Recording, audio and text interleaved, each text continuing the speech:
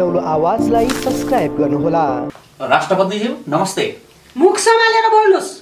छोरी मान्छेलाई कहीँ पति भन्न मिल्छ? राष्ट्रपत्नी भन्नुहोस्। सरी अनि तपाईँले संसद विघटन चाहिँ किन गर्नुभयो नि? छ? कति दिन? कति छ? एक हप्तैसम्म।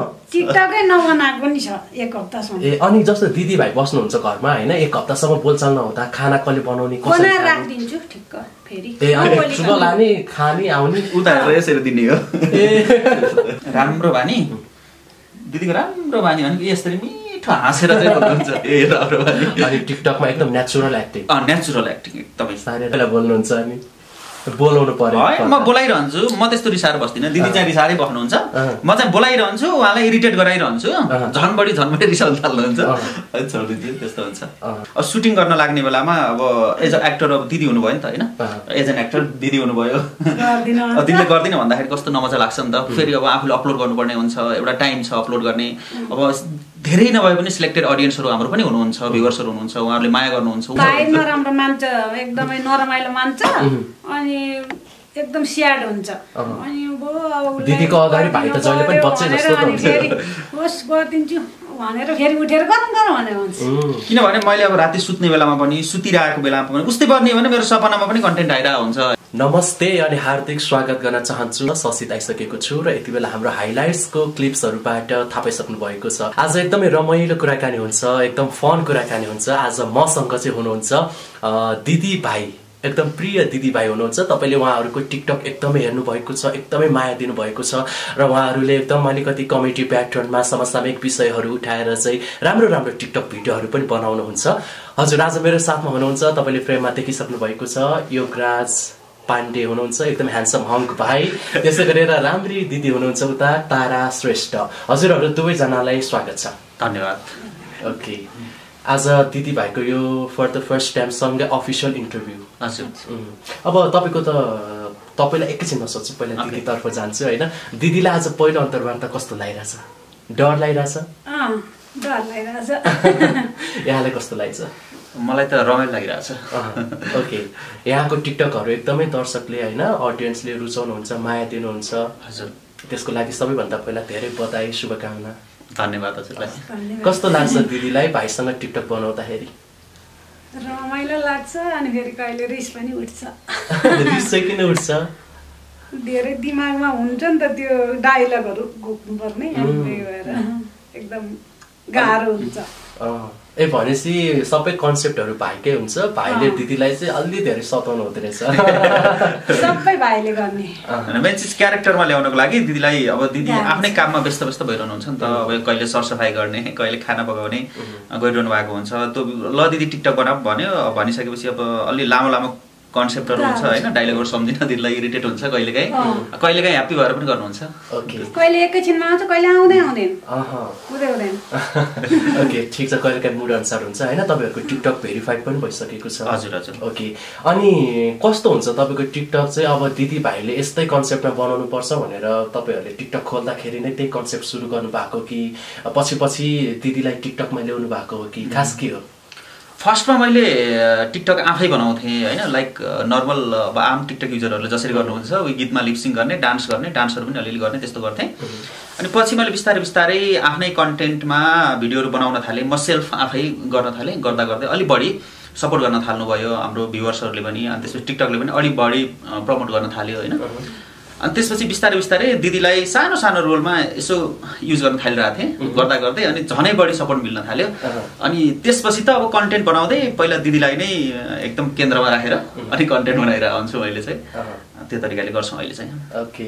सो दिदीसँग पहिलो टिकटक बनाउँदाखेरि कुन चाहिँ टिकटक थियो? याद छ तपाईँलाई? दिदीसँग पहिलो पटक दिदीलाई टिकटकमा जोड्दाखेरि कुन चाहिँ कन्सेप्टमा बनाउनु भएको थियो? कस्तो थियो?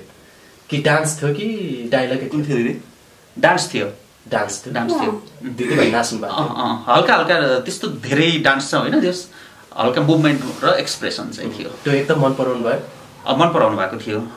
त्यति बेला चाहिँ।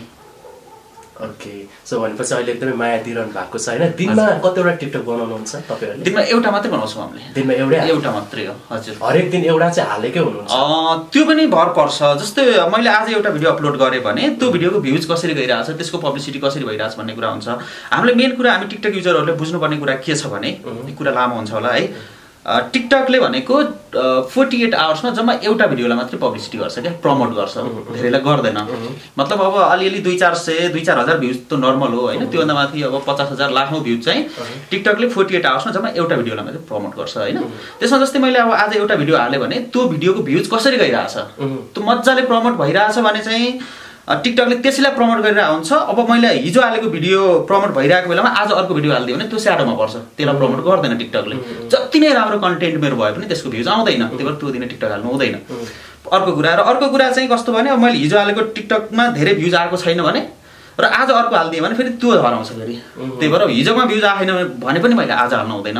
हिजोकोमा धेरै भ्युज आएको छ भने पनि मैले आज हाल्नु हुँदैन क्या। किनभने टिकटकले एउटा भिडियोलाई फोर्टी एट आवर्स मात्रै प्रमोट गर्छ एउटा मात्रै गर्छ एउटा आइडीबाट त्यो कुरा चाहिँ यो। कुराहरू चाहिँ तपाईँले बुझेर नै एउटै बनाउने राम्रो एकदमै बनाउने एकदमै। ओके दिदी अब यति धेरै पपुलर होइन धेरैले चिन्नुहुन्छ भाइसँग टिकटकमा।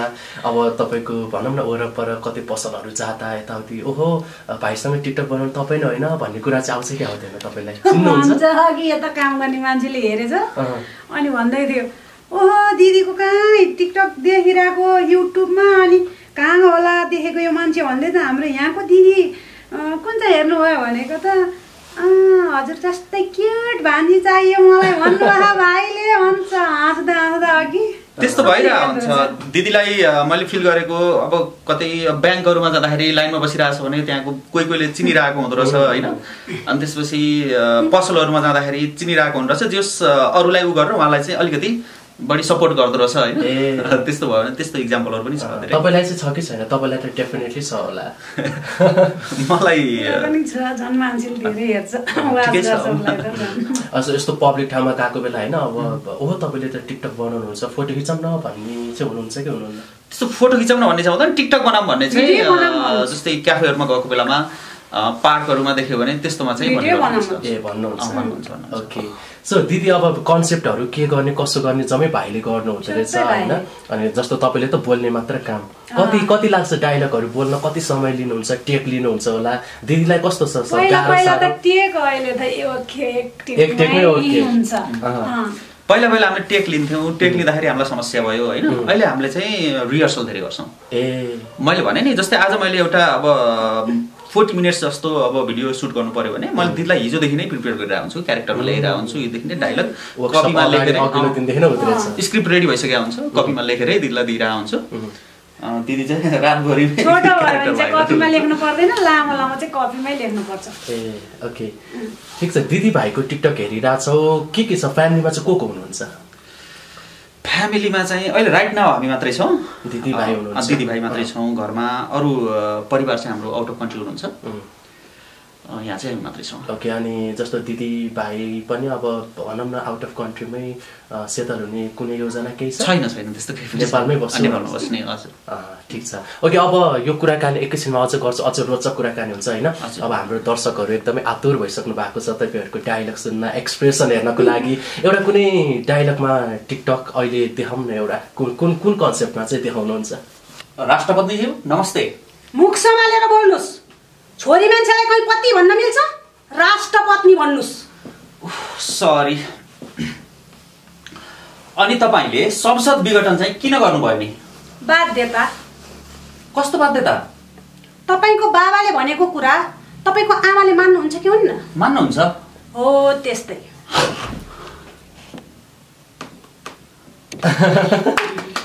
साह्रै राम्रो साह्रै राम्रो। एक्टिङ एकदम राम्रो है। के छ त तपाईँलाई साँच्चीकै पत्रकार नै बन्ने इच्छा छ? होइन हजुर म चाहिँ कलाकार बन्ने इच्छा चाहिँ छ।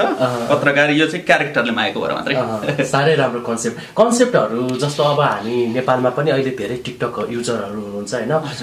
आउट अफ कन्ट्री जस्तो बाहिरी विदेशी देशहरूको पनि कतिले कन्सेप्टहरू फलो गर्नुहुन्छ। तपाईँ कुन ट्रेन्डलाई फलो विशेष गर्नुहुन्छ र कन्सेप्ट आफै सोच्नुहुन्छ कि कसैको त एक्लै सोचेर लेख्ने हुन्छ नि त? तपाईँले चाहिँ कन्सेप्ट कहाँबाट ल्याउनुहुन्छ? मैले ट्रेन्ड फलो गर्ने कुरा चाहिँ भनेको मैले भन्दा नि हामीले होइन कमेडी हो ट्रेन्ड चाहिँ कमेडी नै हो किनभने कमेडीलाई नै सिलेक्ट गर्नुको रिजन छ। कमेडी भनेको बच्चादेखि बुढासम्म कुनै पनि एज बारले पनि रोक्दैन र कुनै पनि प्रोफेसनको मान्छेले पनि कमेडी जहाँ पनि जम्छ जसलाई पनि मनपर्छ जो पनि हाँस्न मन पराउनुहुन्छ एउटा कुरा। र कन्टेन्टको कुरा भनेको चाहिँ कस्तो हुन्छ भने हाम्रो रियल लाइफमा जति कुराहरू भइरहेको हुन्छ त्यही कुरालाई नै मैले कन्टेन्टको रूपमा ल्याउँछु एउटा। अर्को भनेको अब हाम्रो नेपाली उखानहरूदेखि लिएर होइन त्यो उखानहरू पनि कति कमेडी छ क्या हाम्रो उखानहरू त्यसलाई पनि मैले युज गरिरहेको हुन्छु। अनि त्यसपछि कन्टेन्ट बनाउँदा भनेको चाहिँ हो अरूको पनि जस्तो एकदमै टप टप क्रिएटरहरूले बनाएको कन्सेप्टहरूबाट पनि हामी इन्सपायर भइन्छ किनभने भोकाबुलरी त एउटै छ नि त होइन? जस्तो नेपाली शब्दको हेर्नुभयो भने त एउटै छ ती शब्दहरू त हाम्रो कहीँ कहीँ न कहीँ त म्याच गर्छ नि होइन? तर उनीहरूको सेम टु सेम कपिड चाहिँ हाम्रो हुँदैन। उनीहरूको कन्टेन्ट केही हदसम्म मिल्यो भने पनि प्रेजेन्टेसन हाम्रो आफ्नो हुन्छ। एनी हाउ कसरी हुन्छ अडियन्सलाई हामीले इन्जोय गराउने कोसिस गर्छौँ होइन। त्यो अनि अरू त्योभन्दा बढी भनेको हाम्रो समसामयिक हुन्छ। अब हेर्नुहोस् न हाम्रो राजनीति भनेकै कमेडीको एउटा खानी नै हो होइन? एकदम कमेडीको खानी नै हो। कन्टेन्ट खोज्न कमेडी कन्टेन्ट खोज्न कहीँ पनि जानु पर्दैन। हाम्रो राजनीति र समसामयिक कुराहरू हेऱ्यो भने त्यहीँ भेटिन्छ होइन। त्यहीँबाट इन्सपायर भएर चाहिँ हामीले कन्टेन्ट बनाउँछौँ। ओके जस्तो दिदीलाई सोध्छु दिदी थोरै यता आइदिनुहुन्छ है? अनि जस्तो क- टिकटक बनाउँदाखेरि अब भाइले जे भन्नुहुन्छ त्यसलाई फलो गर्नुहुन्छ तपाईँले होइन?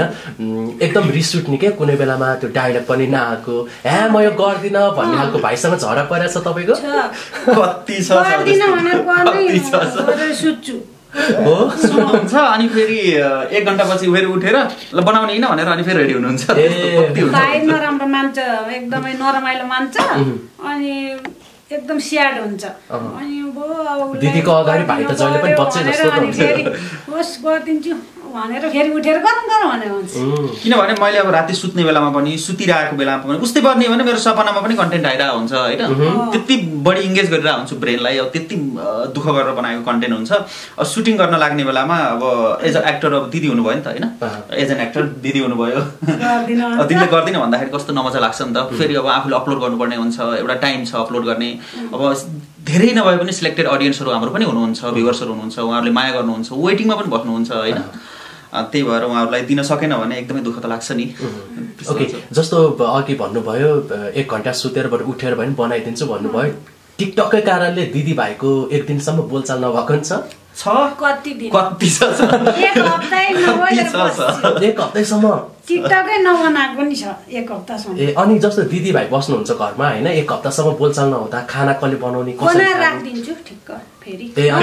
लाने खाने आउने। यसरी दिने हो। सबै को पहिला बोल्नुहुन्छ अनि? बोलाउनु पर्यो। है म बोलाइरहन्छु। म त्यस्तो रिसाएर बस्दिनँ। दिदी चाहिँ रिसाएरै बस्नुहुन्छ। म चाहिँ बोलाइरहन्छु उहाँलाई इरिटेट गराइरहन्छु। झन् बढी झन् बढी रिसाउनु थाल्नुहुन्छ। छोडिदिन्छु त्यस्तो हुन्छ। ओके। भाइको सबैभन्दा दिदी जस्तो राम्रो ह्याबिट के छ घरमा बस्दाखेरि उहाँको चाहिँ अब तपाईँ दिदी भएको हिसाबले राम्रो बानी के छ भाइको? बानी त सबै राम्रो छ। सबै राम्रो छ बिहान कति बजी उठ्नुहुन्छ? बिहान पाँच बजे उठ्छु। ए छिटो छ उठ्नुहुन्छ बजे त जिम जान्छु। ए ओके। दिदीको भनिदिनुहोस् न राम्रो बानी के छ दिदीको? राम्रो बानी दिदीको राम्रो बानी भनेको यसरी मिठो हाँसेर चाहिँ अनि टिकटकमा एकदम नेचुरल एक्टिङ नेचुरल एक्टिङ एकदमै। साह्रै राम्रो। कमेन्टहरू हेर्दाखेरि विशेष गरी तपाईँलाई टार्गेट गरेर वा दिदीलाई टार्गेट गरेर कमेन्ट आउँछ। तपाईँ स्क्रोल गर्नुहुन्छ गरिरहेको हुन्छु म्याक्सिमम् मैले सकेसम्म र टाइम भएसम्म कमेन्टमा रिप्लाई पनि गरिरहेको हुन्छु किनभने हाम्रो भिडियोको पब्लिसिटी टिकटकले प्रमोट कुन आधारमा गर्छ भने। हाम्रो एक्टिभिटी कति बढ्छ होइन? इङ्गेजमेन्ट कति बढिरहेको हुन्छ होइन? जति कमेन्टको रिप्लाई गर्छौँ जति हामीले लाइकहरू गर्छौँ त्यति नै इङ्गेजमेन्ट बढ्छ त्यति नै टिकटकले त्यसलाई प्रमोट गर्न थाल्छ। त्यो एउटा रिजन भएको कारणले पनि मैले सबै कमेन्टहरूको रिप्लाई सकेसम्म गर्ने कोसिस गर्छु। त्यसमा कन्टेन्ट वाइज चाहिँ मलाई गर्नुहुन्छ र एक्टिङ वाइज चाहिँ दिदीलाई सपोर्ट गरिरहनु भएको दिदीलाई गरिरहनु भएको।